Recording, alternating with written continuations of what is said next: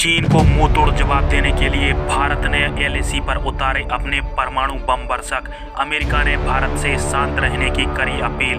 तो वहीं इसराइल और भारत ने एलएसी पर तैनात किया सबसे घातक हथियार, चीन के फाइटर जेट मिसाइल। यहाँ तक कि ड्रोनों को कर देगा तबाह। नमस्कार दोस्तों, आप देख रहे हैं इंडियन न्यूज़। चलिए इन खबरों को विस्तार से जान लेते हैं। दोस्तों, कुछ दिन पहले चीन एलएसी पर बहुत उड़ रहा था और चीन ने अपने परमाणु बम बरसक एच के सिक्स बॉम्बर को एलएसी पर उतारा था और इसके माध्यम से भारत पर दबदबा कायम करना चाहता था, क्योंकि भारत के पास प्रेजेंट टाइम में कोई भी स्ट्रेटेजिक बॉम्बर नहीं है और एच के सिक्स बॉम्बर की जो मारक क्षमता है, वो दिल्ली तक होती है।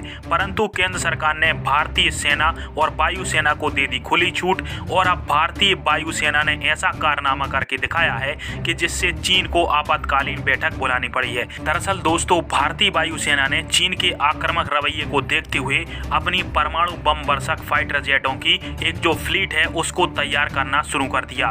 और जब अमेरिका को इस बात का पता चला तो अमेरिका ने भारत से शांत रहने की अपील की है। अन्यथा बहुत ही विध्वंसक लड़ाई हो जाएगी एलएसी पर। दरअसल एलएसी पर चीन अपने फाइटर जेट मिसाइल इसके साथ ही ड्रोन और बॉम्बरों के माध्यम से भारत को डराने, धमकाने का काम करता रहा है। भारत अभी तक केवल डिफेंसिव पॉलिसी को अपनाता था, परंतु अब चीन को लेकर भारत बहुत ही आक्रामक हो चुका है और भारतीय वायुसेना ने अपने परमाणु हमला करने में सक्षम फाइटर जेटों का एक स्क्वाडन बनाकर तैयार कर लिया है और यदि आवश्यकता पड़ी तो फिर चीन के ऊपर इन्हीं फाइटर जेटों के द्वारा हमला बोला जाएगा। दोस्तों, भारत के इस आक्रामक रवैये को लेकर चीन की तरफ़ से यह बयान निकल के सामने आया है कि भारत अब चीन के खिलाफ बहुत ही आक्रामक रूप अपना रहा है और इससे दोनों देशों के रिश्ते और भी ज़्यादा खराब हो सकते हैं। परंतु दोस्तों, चीन ने खुद ही भारत से रिश्ते खराब कर लिए हैं, जिसके चलते भारत को अब चीन के खिलाफ कड़े कदम उठाने पड़े हैं। दोस्तों, दूसरी ओर बड़ी खबर निकल के सामने आ रही है।